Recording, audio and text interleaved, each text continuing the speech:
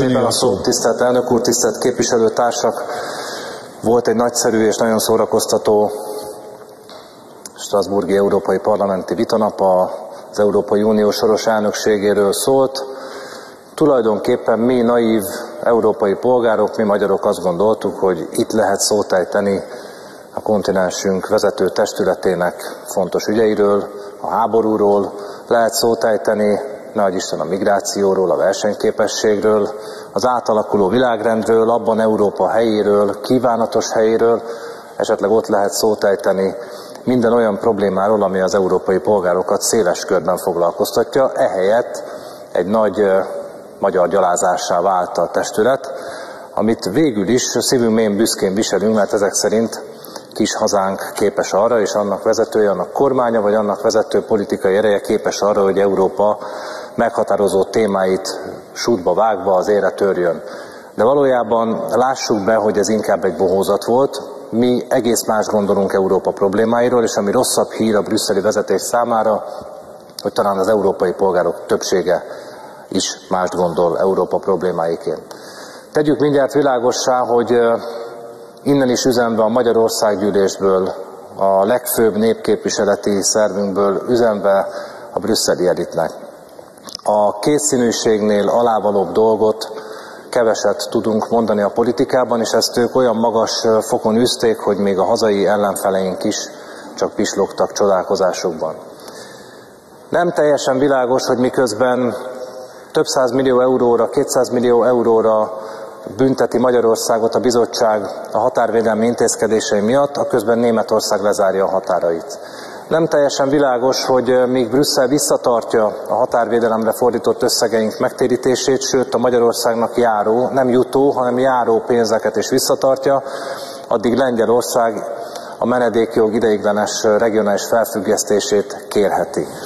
Az sem teljesen világos számunkra, hogy azok a politikusok, amelyek más országokat képviselnek, miért engedhetnek meg maguknak olyan nyilatkozatokat, amelyek más ország belügyeibe való teljesen világos beavatkozást jelentenek. Azt is megfogalmazták, hogy az ő elvárásaikhoz jobban igazodó kormányt szeretnének. Nem csak az ügyeket központosítják, hanem a politikát is központosítják Brüsszelben. És természetesen meg is találták ehhez a jobban igazodó kormányhoz a megfelelő aktorokat, a brüsszeli tehetségkutatónak van egy új győztese, de vannak azért régi nyertesei is, a DK és a Tisza párt formációjában. Ők természetesen szolgalelkűen jelezték is, hogy készen állnak arra, hogy ezeket az elvárásokat teljesítsék. Mielőtt belemegyünk az elvárásokba, muszáj megemlítenem, hogy az ember olykor elmereng azon, csendes magányában, hogy nekünk miért van hosszú-hosszú ideje olyan politikai ellenfelünk? Miért vannak olyan politikai ellenfeleink, akik, hogyha a magyar kormányzásra törnek, vagy a magyar kormányzást lehetőségét szeretnék megszerezni, akkor először külföldre mennek ezért. És ha megvannak a külföldi támogatók, a külföldi intézmények, a külföldi sajtó, a külföldi politikusok támogatása megvan, utána járulnak csak a magyar emberek hez. Miközben minden történelmi reflexünk és minden történelmi tudásunk épp ennek az ellenkezőjét igazolja, épp azt igazolja, hogy a sikeres magyar politikát belföldön lehet megvívni.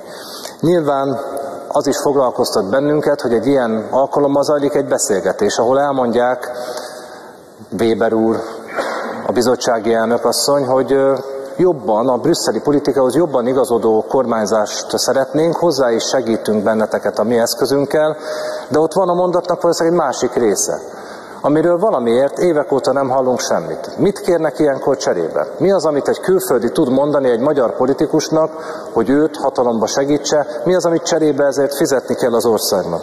Erről nem hallottunk 2022-ben sem, és nem hallunk most sem. Pedig mindannyian tudjuk, önök sem, mi sem, most jöttünk le a falvédőről, hogy ennek a mondatnak nincs ott vége, ha nyugatra megy az ember a brüsszeli edit közé, hogy természetesen segítünk, hogy kormányra kerüljetek. De mi az, amiről le kell mondanunk? az elvárások szerint a rezsi csökkentésről, a 13. havi nyugdíjról, az SZIA szinten tartásáról emelni kívánja az Unió, az ingatlanadót kívánják bevezetni, migráció támogatás, háború támogatása, és hosszan sorolhatnánk. Egyetlen egy nagy tanulság van az önök helyzetében. Az egy dolog, hogy most már nem önök kapják a külföldi pénzt, hanem valaki más, de amit vigyenek magukkal ebből a politikai tanulságból, hogy a hazát csak egyszer lehet elárulni. Köszönöm szépen.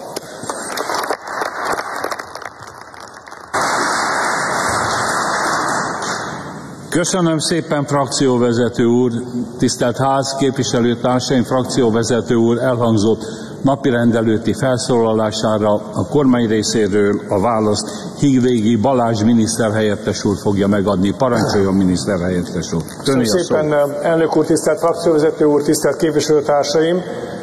Magyarország szuverenitása soha nem volt magától értetődő, azt soha nem adták ingyen, azért mindig meg kellett küzdeni mindig áldozatot kellett hozni, és most, hogy közeleg az október 23-i évforduló, az 56-os szabadságharc évfordulója, forradalmi szabadságharc napja, ezúttal is fejet hajtunk mindazok előtt, akik áldozatot hoztak a magyar szabadságért, akik kiálltak a magyar önállóságért, akár életük árán is.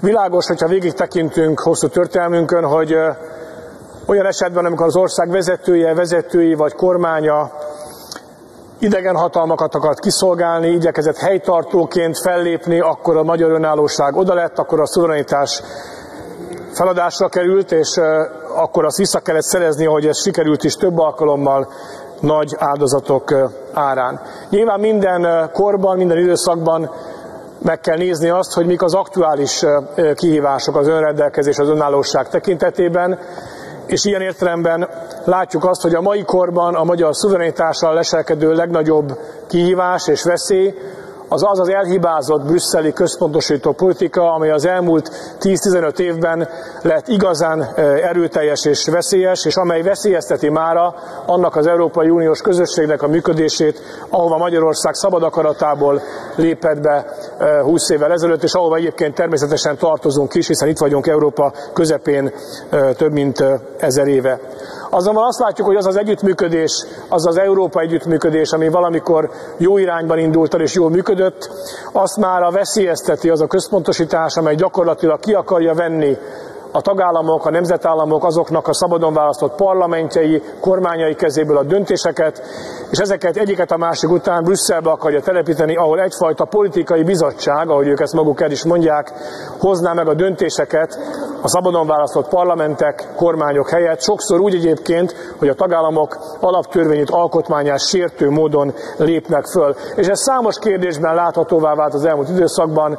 A frakcióvezető úr is említette ebből jó néhányat, akár a migráció kérdése, amely egy döntő kérdés, és meghatározza az identitásunkat, az országunk jövőjét, vagy a háború és béke kérdésében az elmúlt időszakban, a gyermekvédelem, a családvédelem kérdésében, vagy most legutóbb éppen a gazdasági és kereskedelmi együttműködés területén érkeznek olyan kezdeményezések Brüsszelből, amelyek sértik a magyar szuverenitást, és egyértelműen sértik a magyar nemzeti érdeket. Például a gazdaságban nyilvánvaló, hogy nekünk egy olyan semleges hozzáállásra van szükség, amely elfogadja a nyugati és a keleti partnereket is akkor, hogyha ezek hasznosak az ország ország számára, akkor, hogyha ezek hozzájárulnak a magyar gazdasági növekedéshez, legyen szó akár nyersanyagokról, akár atomenergiáról, akár beruházásokról, működőtőke beruházásokról és egyéb gazdasági kapcsolatokról.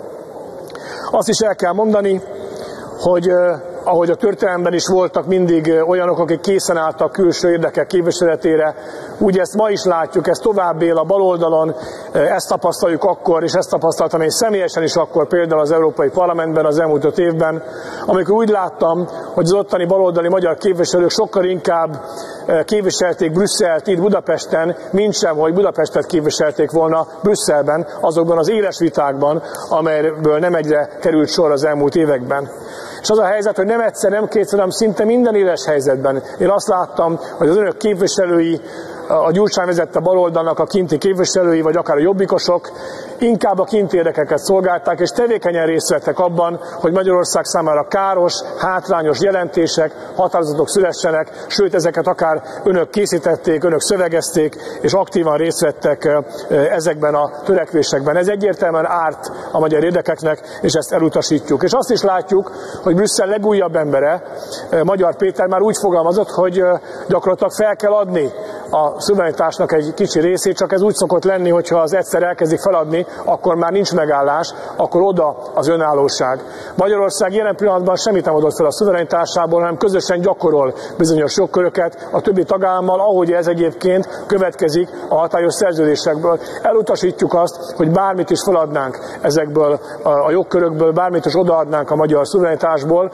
Elutasítjuk azt, hogy önök tégláról téglára akarják lebontani a magyar önállóságot, és kiszolgáltatnák az országot olyan törekvéseknek, egy olyan politikai iránynak, ami ellentétes Magyarország érdekeivel. A Fidesz-KDNP kormány a nemzeti oldal továbbra is ki fog állni azért, hogy Magyarország erős maradjon, független maradjon, és a saját érdekeiből induljon ki. Köszönöm szépen, hogy meghallgattak.